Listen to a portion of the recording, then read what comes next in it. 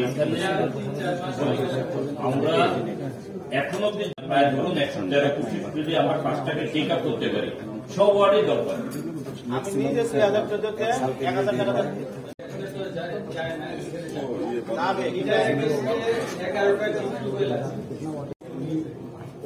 আপনাদের তিন নাম্বার ওয়ার্ডে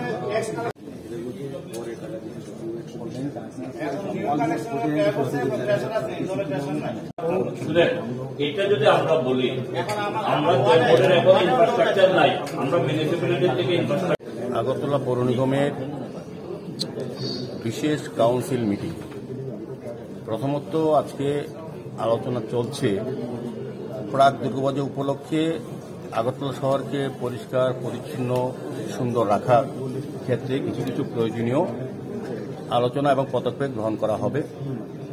মূলত পুজোকে উপলক্ষ করে সারা রাজ্য থেকে বহিরাজ্যে এবং বিদেশ থেকেও অনেক দর্শনার্থী, পুণ্যার্থী পুণ্যার্থী আগরতলায় আসেন এই পুজোর সময়।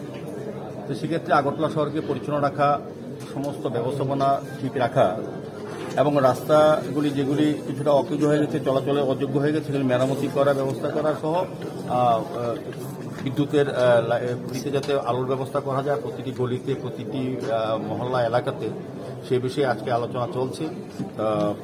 পুজোকে সামনে রেখে আমাদের বিশেষ এটা সভা।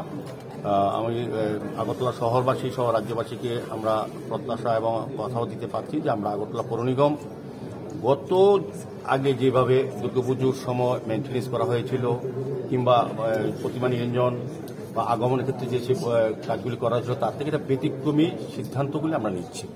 এবার আগরতলা শহরবাসী, পুজোর সময় নতুনভাবে আগরতলাকে দেখবেন। আগরতলাকে তারা প্রয়োজনে তারা বিভিন্ন জায়গায় ঘুরতে পারবে। সেই ব্যবস্থা আমরা করা হচ্ছে রাস্তাগুলি ঠিক করার চেষ্টা করা হচ্ছে, আলো, নতুন আলোর ব্যবস্থা করা হচ্ছে এবং প্রতিমা নির্মাণের ক্ষেত্রে দশমী ঘাটের এটা আমূল পরিবর্তন করা হচ্ছে। এটার উদ্দেশ্যে আগামীকালকে আমরা একটা গুরুত্বপূর্ণ সভা ডেকেছি সমস্ত অফিসারদের নিয়ে। দশমী ঘাটের এলাকা সহ আগরতলা শহরে যে বৈদ্যুতিক ব্যবস্থা যেটা প্রবলেম হয়, শহরে দুই লাইন আলাদা না হওয়াতে এবার আমরা এই ব্যবস্থা গ্রহণ করছি। অলরেডি কাজ শুরু হয়েছে। আমার ধারণা এবং বিশ্বাস, আমরা পুজোর আগে কাজগুলি করতে পারব। এটা তো প্রথম আজকে এজেন্ডার মধ্যে। দ্বিতীয়ত হচ্ছে আগরতলা শহরবাসী একটা বিশেষ সমস্যা হচ্ছে পানীয় জলে। অনেক ক্ষেত্রে অনেক ওয়ার্ড অভিযোগ আছে অনেক জনসাধারণ বলেন, তারা নিয়মিত পানীয় জল সাপ্লাই তারা পান না।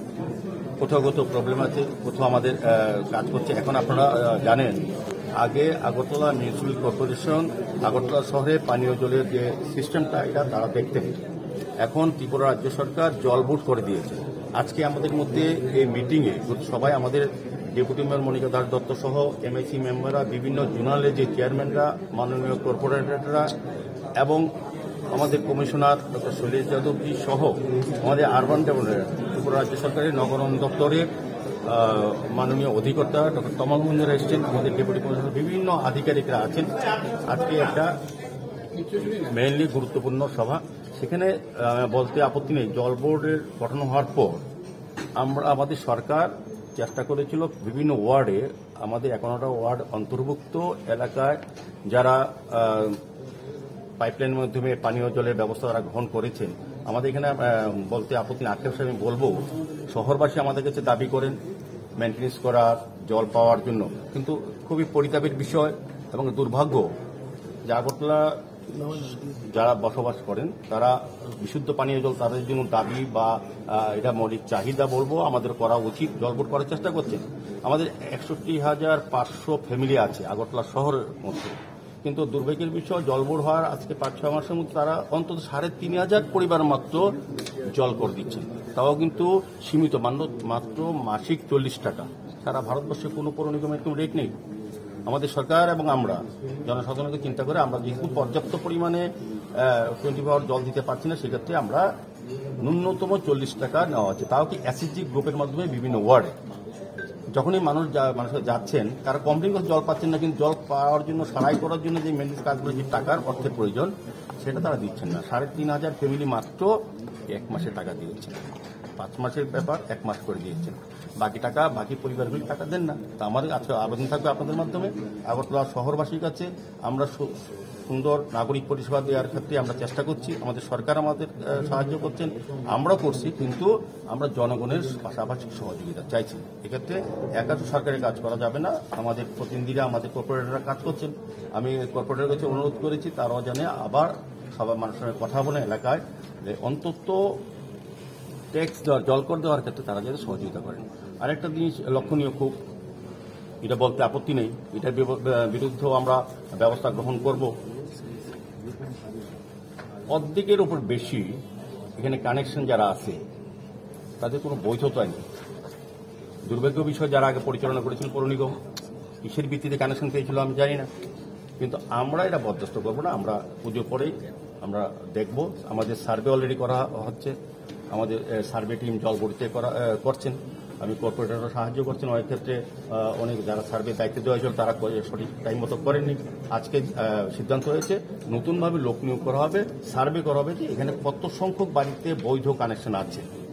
কত সংখ্যক জলকর দেন না।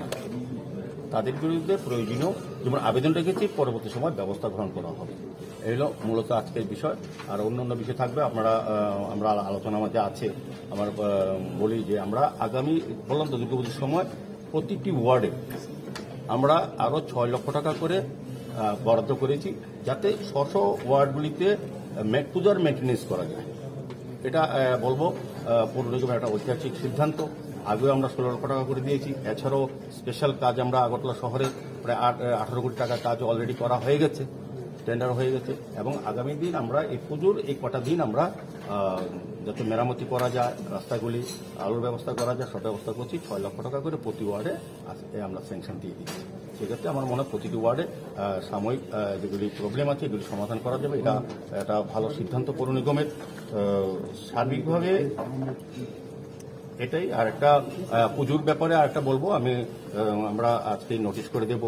আগরতলা যারা, আগরতলা শহরে যারা পুজো করেন যে ক্লাবগুলি, সামাজিক সংস্থা বা বাড়ি তাদেরকে আবেদন করার জন্য বলব, আমরা আগে পৌর নিগমের প্রতি আবেদন করার ক্ষেত্রে দুশো টাকা করে জমা দিতে হতো। এবার আমরা পৌর নিগমের সিদ্ধান্ত নিয়েছি, কোনো টাকা আমরা নেব না। আর তিন থেকে আর এখানে কিছুটা কন্ডিশন ছিল, আগে বিভিন্ন দপ্তর থেকে পারমিশন নিতে হতো। এটা একটা হয়রানি দেখতাম আমরা। তো অলরেডি তো প্যান্ডেল হয়ে যায় গোটা শহরে। পারমিশন কেউ নিতেই চায় না। তো সেই প্রবণতা বন্ধ করার জন্য আমরা ব্যবস্থাপনা আরও ছোট করে দিয়েছি। যে ছয় সাতটা ক্রাইটেরিয়া ছিল বা পয়েন্ট ছিল, এগুলোকে কমিয়ে দিয়ে আমরা জাস্ট বলেছি এনওসি নিতে হবে ফায়ার ব্রিগেড থেকে মেনলি আর আপনার আমাদের কাছে একটা পারমিশন চাইতে হবে, আমাদের রেজিস্ট্রেশন করার জন্য। মূলত এটাই। আমরা অনেকটা ইজি করে দিয়েছি।